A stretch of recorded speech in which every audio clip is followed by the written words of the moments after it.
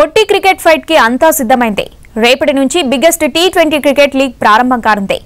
ఎవరి మంత్ర గెలుస్తుందో చూద్దామంటూ ఓపెనింగ్ మ్యాచ్లో ఆర్సీబీ ముంబై ఇండియన్స్ తలపడుతున్నాయి. దీంతో ఇక నుంచి ఐపీఎల్ జోరు కనిపించనుంది.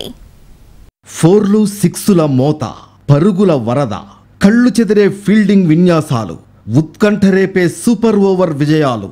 ఇలా overall cricket ఎక్స్పీరియన్స్కి care of address IPL. Indian premier లీగ్కి అంతా సిద్ధమైంది. శుక్రవారం నుంచి ప్రారంభం కానుంది.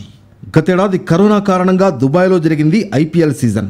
అయితే ఈసారి మాత్రం సొంతగడ్డపై జరుగుతున్న అభిమానుల కోలాహలం ఈసారికి కనిపించదు. ప్రేక్షకులు లేకుండానే మ్యాచ్లు జరగనున్నాయి. అటు కేవలం కొన్ని వేదికలకు మాత్రమే అనుమతి ఇచ్చారు. కరోనా కేసులు పెరుగుతున్న సమయంలో ఈ నిర్ణయం తీసుకున్నారు. కరోనా బారిన పడకుండా బయోబబుల్లో ఆటగాళ్ళను ఉంచారు. అంతకుముందు ఏడు రోజుల క్వారంటైన్ కూడా ముగిసింది.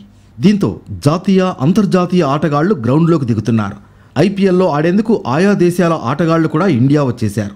ఆఖరికి క్రికెట్ బోర్డులే తమ ఆటగాళ్ళను ఐపీఎల్లో ఆడాలంటూ పంపిస్తున్నాయంటే దీని క్రేజెంతో తెలుసుకోవచ్చు. శుక్రవారం ఆర్సీబీ ముంబై ఇండియన్స్ మధ్య జరగనుంది. ఇప్పటికే రెండు జట్లు సన్నద్ధమయ్యాయి. ఎవరి మంత్రా గెలుస్తుంది అంటూ హోరెత్తిస్తున్నారు. మోరిస్ మ్యాక్సీలను అత్యధిక ధరకు కొనుగోలు చేసిన ఆర్సీబీ ఈసారి కప్ నమదే అంటోంది. అటు ముంబై ఇండియన్స్ మాత్రం ఆల్ టైమ్ టాప్ టీం మరోసారి కప్పు కొడతామని హిట్ మ్యాన్ ధీమా వ్యక్తం చేస్తున్నాడు. శుక్రవారం నుంచి మే ముప్పై వరకు ఐపీఎల్ మ్యాచ్లు జరగనున్నాయి. ఇక సన్ రైజర్ హైదరాబాద్ కూడా స్ట్రాంగ్ టీమ్గా కనిపిస్తోంది. ఏప్రిల్ పదకొండున కోల్కతా నైట్ రైడర్స్తో తొలి మ్యాచ్తో తలపడనుంది. ఈ ఐపీఎల్లో ఏకంగా నలుగురు వికెట్ కీపర్లు కెప్టెన్గా వ్యవహరిస్తున్నారు. ధోని సిఎస్కే కెప్టెన్గా ఉంటే రాజస్థాన్ రాయల్స్ సారథిగా సంజు శాంసన్ ఢిల్లీ నాయకుడిగా పంత్ పంజాబ్ కింగ్స్ కెప్టెన్గా కేఎల్ రాహుల్లో వ్యవహరిస్తున్నారు. మొత్తంగా పుట్టి క్రికెట్ పండుగ కోసం అభిమానులు ఆశగా ఎదురు చూస్తున్నారు